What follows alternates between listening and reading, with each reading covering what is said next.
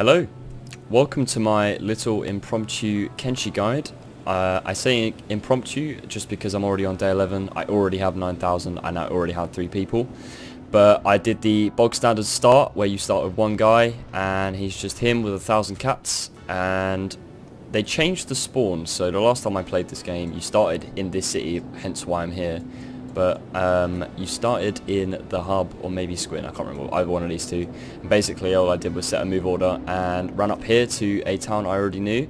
Now the way I start this game myself is I watched a guide and I watched the guy mine copper and then he bought himself a house which is one of these houses for 20,000 cats after farming all that copper he then got a research bench and got a guy to make armor until he was armor level armor smithing 25.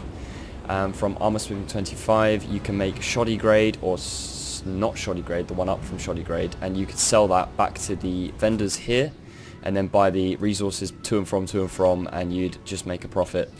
Um, it was pretty simple but the way the guy started out was he was mining copper manually and I thought I'm really fucking lazy and I cannot be bothered to do that. So this is my little guide on how I have automated this system.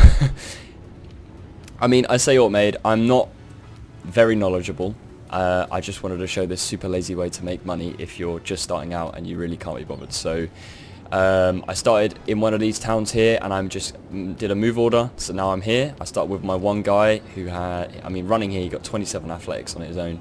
Uh, he didn't have a backpack either but I have one of those. Um, so basically all I did was mine copper until I got said backpack.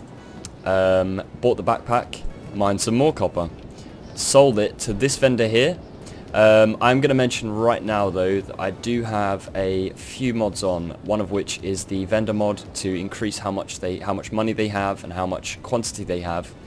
Um, just just to make things a little easier. I mean, this game is a little bit slow to begin with. Um, training your guys up if you're going to do it legitimately is uh, it's, it's, it's, a bit slow. So, yep, I started with the one guy. I bought myself a backpack, and then I carried on mining copper with the one guy, and then I bought myself a little shack, one of which to put a research bench in, and the other one, I bought another one to put the copper storage.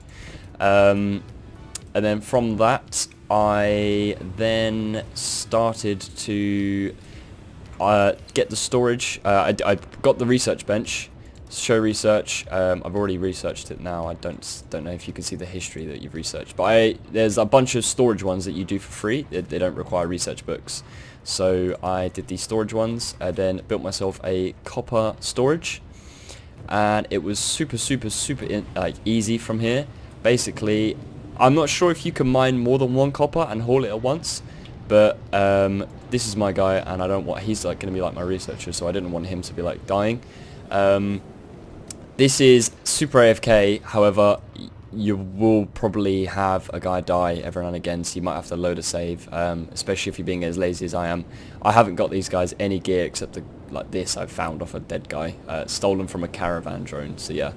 Um, I haven't got anything, none of my guys have any weapons, they just as they come. Um, so I actually haven't done anything else other than this, I'm on day 11. I honestly just watched six episodes of that Kingdom on Netflix, and it was great.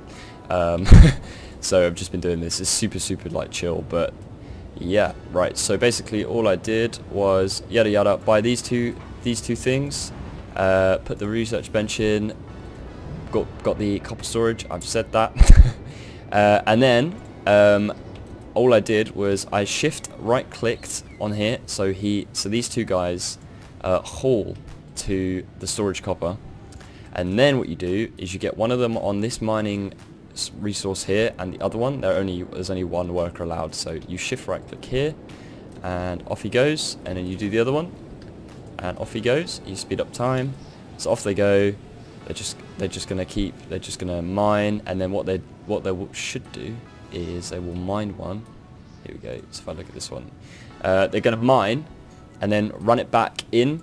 So then I have one guy waiting here already just to come pick it up with a backpack and then go and sell it into the uh, go and sell it into the, the vendor. So this is like a super impromptu AFK copper mining, money making, like super big, like beginner like to just a just the AFK farm because I really cannot be bothered to go around and farm all these skimmers. Uh, I also increase like the nests, uh, like the nest multiplier, so you get loads and loads of enemies, like mobs coming. Um, a thing that you could do, uh, because it's like a 10 minute autosave feature, you could lower that to like 3 minutes or autosave every 3 minutes and then just do something else, come back. If you've got a guy that's dead, if you do, can't be bothered to go and nurse him back to health, then just reload the autosave. You wouldn't have lost too much copper. And yeah, it's super, super chill, super easy, and yeah. If you enjoyed this, um, please just just give me a like you know, just, just what I like. Thank you very much.